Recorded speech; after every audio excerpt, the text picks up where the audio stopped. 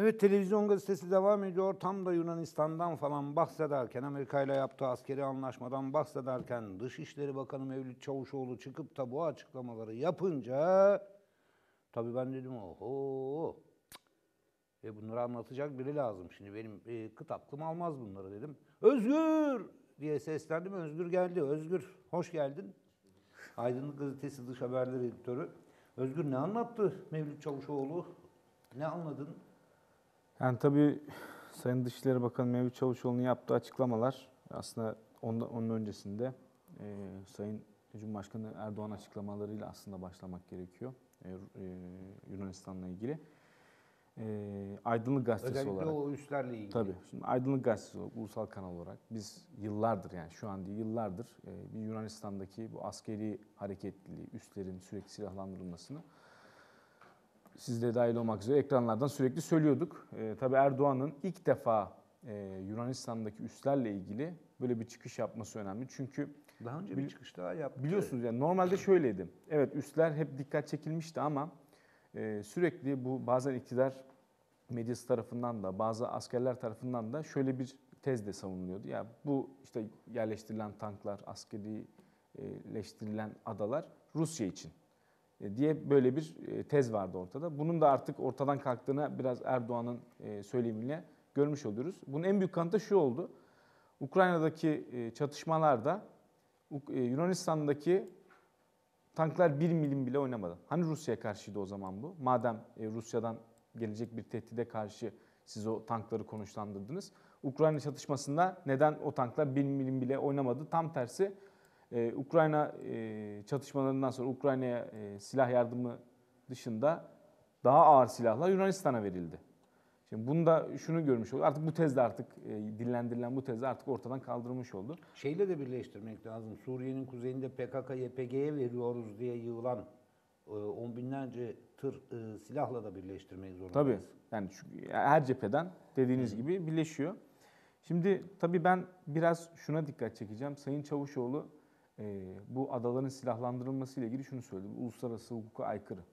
Evet uluslararası ya Lozan ve Paris anlaşmaları var biliyorsunuz. Bunlara aykırı. Ama e, biz Ukrayna e, çatışmasıyla şunu gördük ki artık uluslararası hukuk dediğimiz şey yeniden yazılıyor. Ben de onu soracaktım. Uluslararası hukuk diye bir şey mi kaldı? Yani uluslararası en nihayetinde hukuku egemen güçler yazar. Yani insanlar sanıyor ki işte masanın etrafında hukukçular, profesörler şey yapıyor. Hadi bu uluslararası. Öyle değil. Silahı olan uluslararası o hukuku yazabilir. Ukrayna ile birlikte de aslında Rusya biraz da e, çok kutuplu dünyayı oluştururken uluslararası hukukun da nasıl? Çünkü bakıyorsunuz e, Ukrayna e, şey Rusya Ukrayna'ya operasyon başladıktan sonra bir sürü yaptırımlar. Şimdi hukuksal olarak bütün bu yaptırımlar yani baktığınızda hukuksuz. Yani yaptırımlara bakıyorsunuz ama ne dediler? İşte Rusya'nın müdahalesi uluslararası hukuka aykırı gibi vesaire. Gerçi 51. maddeye göre yaptığını söyledi Rusya'da.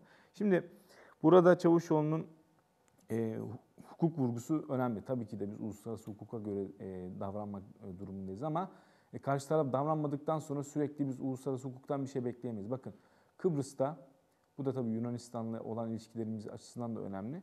Kıbrıs'ta barış harekatı öncesinde uluslararası hukuk vardı değil mi? Yani Londra ve Zürih anlaşmaları vardı. Peki bu uluslararası hukuk Kuzey Kıbrıs'taki e, Türkleri koruyabildi mi? Koruyabildi. Ne korudu? Barış harekatı değil mi? Veto etseydik keşke Yani. ya. Madem madem veto hakkımız hani Veto böyle bir şeyimiz var ya sürekli veto hakkımız var. NATO'da bu yüzden bulunuyoruz vesaire diye. E hani madem uluslararası hukuk vardı koruyabildi. Ne korudu? Barış harekatı. Ve biz o barış harekatından sonra ambargoya uğradık. Uluslararası hukuk varsa e, yıllarca Antep'e, e, Urfa'ya, e, bir sürü yere e, PKK'nın attığı füzeler Tabii. düştü. Niye Uluslararası korumadılar? NATO hani koruyacaktı bizi? Biliyorsunuz Stoltenberg NATO Genel Sekreteri açıkladı. Ne dedi? En fazla terörden zarar gören e, ülke Türkiye. E, zarar E, gördüğümüz zarar zaman neredeydiniz? Neredeydiniz? Değil mi? Yani madem NATO ülkesi böyle bir e, durumda bizi savunuyor. Zaten bunların son 4-5 senedir e, tamamıyla bir hayalden ibaret olduğunu hem iktidar hem Türk milleti zaten görüyordu. Şimdi o yüzden uluslararası hukuk artık sürekli uluslararası hukuku tartışmanın da artık bir anlamı kalmıyor. Mutlaka Son bir anlamı var ama deyimiyle, değil. moda deyimiyle uluslararası hukuk patates oldu. Yani yeniden, yeniden yazılacak bu hukuk. Çünkü bu hukuku da şöyle silahla yazacağız. Çünkü Yunanistan uluslararası hukuku delerek bizim adalarımıza 1 kilometre, 2 kilometre, 5 kilometre yakındaki adalara silah konuşlandırırken biz çıkıp da sürekli buradan e, siz uluslararası hukuku ihlal ediyorsunuz. Tamam bu bir e, mutlaka en başta diplomasinin burada e, ön plana çıkartılması gerekiyor ama diplomasi de en nihayetinde silahla, e, gücünüzle ortaya çıkar. Tıpkı Rusya'nın Ukrayna'da yaptığı gibi. Şimdi e, baktığınız zaman e, Ukrayna'nın NATO'ya e, üye olması uluslararası hukuka uygun değil mi? Ama Rusya'da şunu söylüyor. Sizin uluslararası hukuka uyduğunu söylediğiniz şey beni düşman olarak e, gören bir örgütün sınırıma yerleşmesi. Şimdi Rusya'nın uluslararası hukuka göre aslında e, yazılan hukuka göre oraya müdahale yapması yanlış.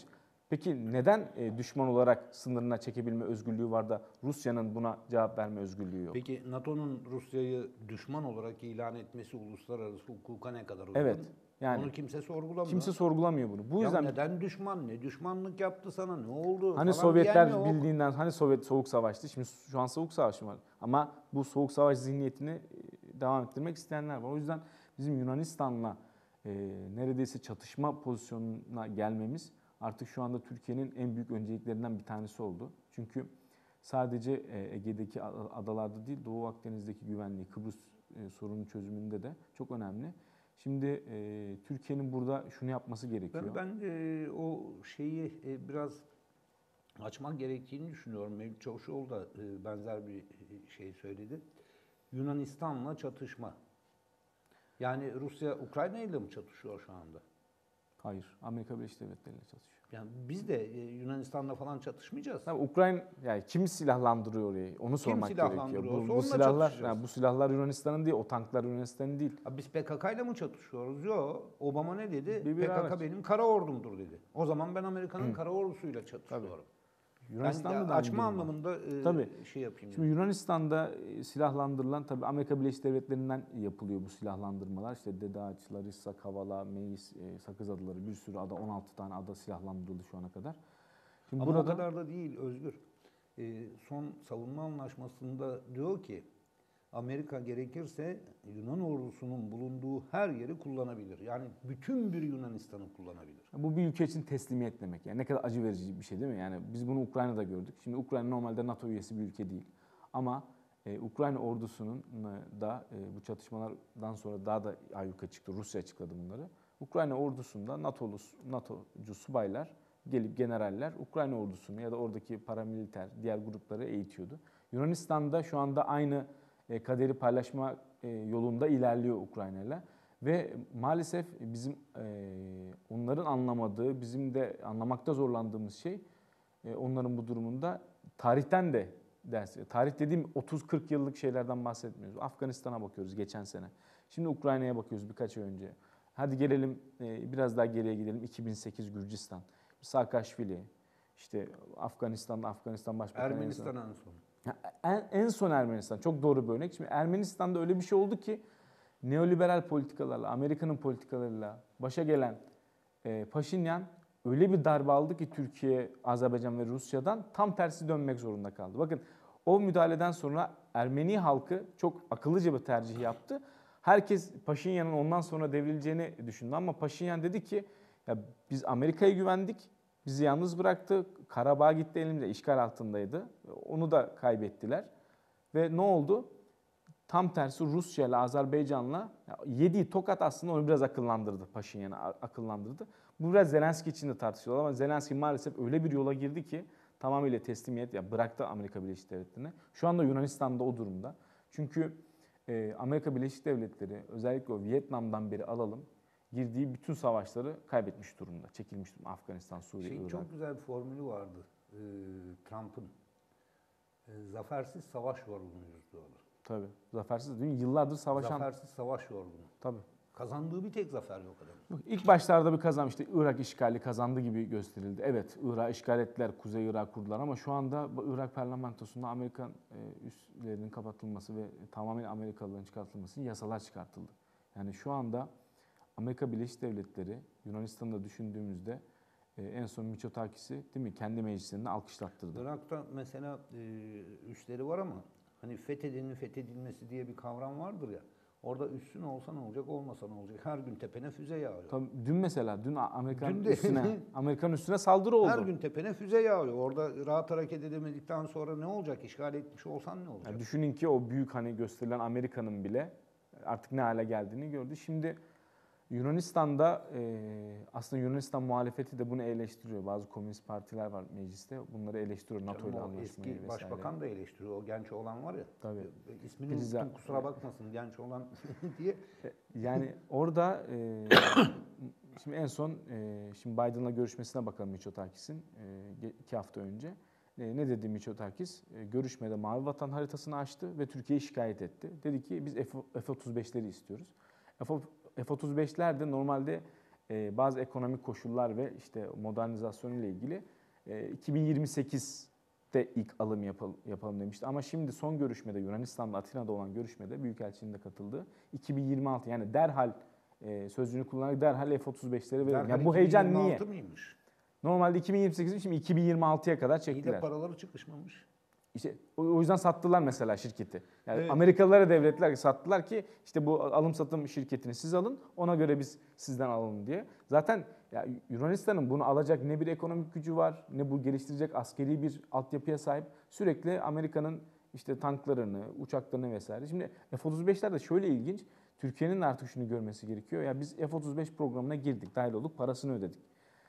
Nerede F-35'lerimiz verilmedi? Kime veriliyor? Yunanistan'a. Kime karşı Türkiye? Ya biz aslında parasını verdiğimiz F-35'leri bize karşı kullanılmasını e, gözlemliyoruz şu anda Yunanistan'da. Öyle ilginç bir durum var. Hala bu tartışılıyor. S-400 aldığımız aldığımızdan beri yani F-35'i alabilir miyiz, alalım mı? İşte tekrardan hani oturalım masaya vesaire bilmem ne. Ama bakıyorsunuz karşı taraf sizin paranızı verdiğiniz şeyi size karşı kullanmak için Sıkıntı, sınırınıza. sıkıntı galiba biraz daha şey, eee, geniş eee, alana yaymak lazım. Şimdi Yunanistan'la sorunum var. Benim ne de sorunum olur Yunanistan'la? Toplasan 7-8 milyonluk ülke. Batmış bir ülke. 2060'a kadar Ekonomik krizde. bütün gelirleri ipotekli bir ülke. Efendim Fransa'yla benim ne sorunum olur Fransa'yla? Her tarafı şey olsa ne olur? Kendi bütçesini denkleştiremiyor. Ama hepsine baktığında tek tek özgür, hepsinde bir Türkiye'ye karşı bir düşmanlık görüyoruz. Bugünkü bütün gazetelerde Marsilya'daki PKK kampından bahsediliyor dün. değil mi? Tabii. Yani bu Türkiye'nin düşmanı buna niye izin veriyoruz? E, İsveç, Finlandiya'nın durumu ortada. E, İtalya daha geçen sene Akdeniz'de gemimizi bastı Yunanistan'la, Almanlarla bir- beraber? Almanlarla birlikte. Tabii. Şimdi hangisine baksan NATO ülkesinin? Tek tek biri, birisi, her biriyle sorunumuz var ama toptan NATO'yla sorun diye bakmak lazım. Yoksa yanılıyoruz böyle. NATO dediğin şey Türkiye'nin mazlum milletlerin düşmanıdır. Bunu kafaya yerleştiremeyen bir adam bunun içinden çıkamaz diye Tabii düşünüyorum. ya baş şeyi bu yani en nihayetinde sizin de dediğiniz gibi e, Macaristan dışında herhangi bir NATO üyesiyle bizim böyle bir şeyimiz yok.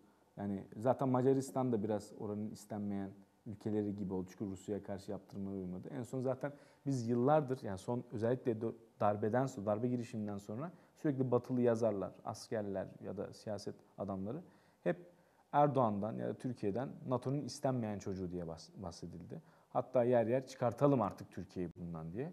Tabii Türkiye'de de şöyle bir algı var. E, NATO'dan çıkarsak işgal ediliriz. Sanki NATO'dan çıktığımız gün bombalar atılacak, füzelerle Kim bizi... edecek bizi? Yani zaten onun bir hazırlığı var. Yani NATO onu gör- yani NATO zaten. zaten. Ya 2016'da zaten gördük kim işgal etti bizi. O NATO üstlerinden kalkan e, ta- şey uçaklar e, Ha bir e, şey var, e, önemli bir sempozyum var İstanbul'da, e, İpek Yolu Sempozyumu. Orada iş adamı Ethem Sancak'ın bir konuşması varmış. Bir şöyle bir bakalım önemli bir şey söylüyorsa alalım biraz, sonra devam ederiz kaldığımız yerden. Evet, İpek Yol girişimi önemli. E, biz de önemli şeyler konuşuyorduk Özgür Demirbaş'la. Özgür, e, 4 dakika kaldı. Nasıl toparlayacaksın? Vallahi ben de bilmiyorum.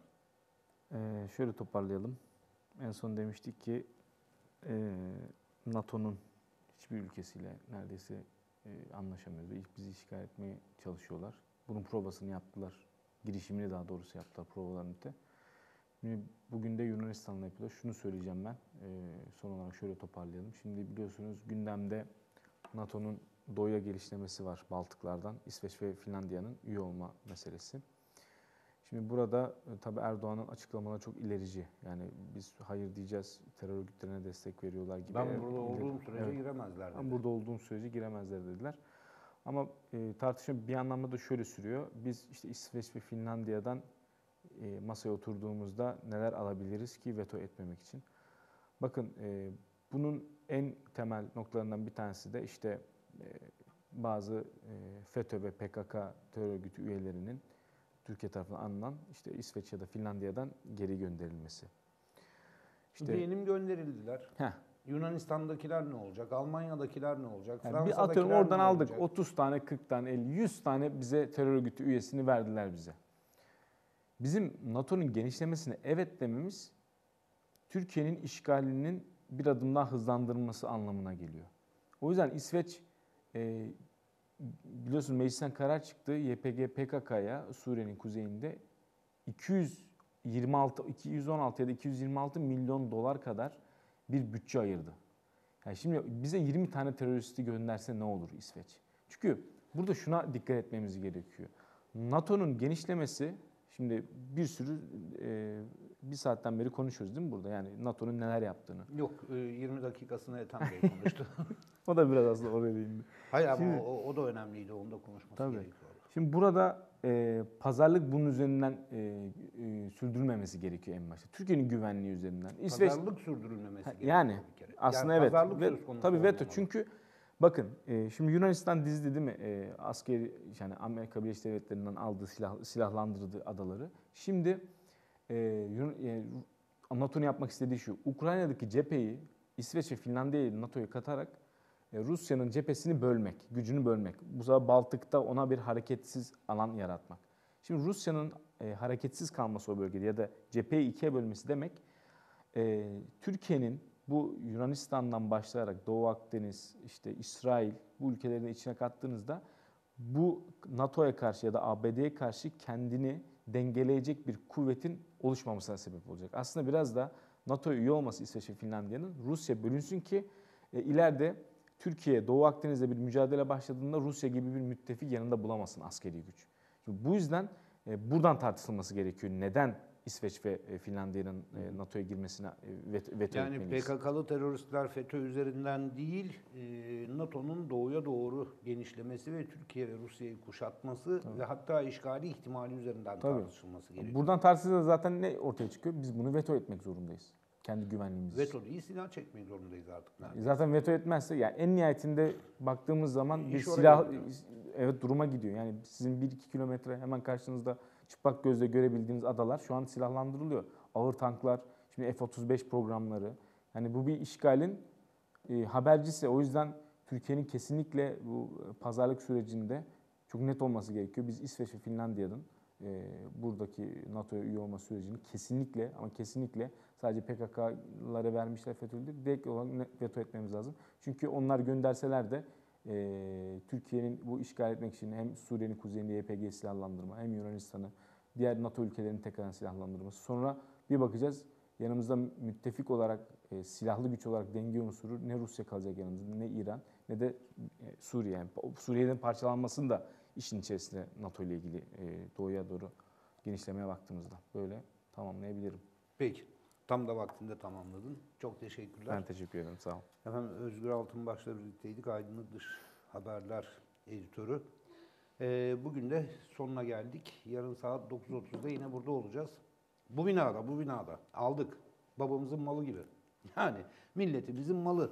O yüzden e, yarın saat 9.30'a kadar lütfen kendinize iyi bakın ama sadece yarın saat 9.30'a kadar değil. Daha ne işler yapacağız hep beraber. Oho! Biz kazanacağız, biz kazanıncaya kadar. Kendinize çok iyi bakın, hoşçakalın. Atatürk'le ittifak yapın. Halkçılıkla, devrimcilikle, kamuculukla ittifak yapın. Ey Merkel diyeceğim şimdi nereden çıktı bu ama? Ölenlerin hesabını sorar. Kumpasın hesabını sorar. Üstüne üstüne gider. Bıktırana kadar gider. Sonuç alana kadar gider. E gazetelerimiz var, çayımız var Allah'a şükür, defter kalemimiz var. Patlıcana bak şimdi patlıcan. Terbiyesiz patlıcan. 23.95 artılır mı? Topraklarda Mustafa Kemaller yenilmez. Bunu birileri öğrenecek.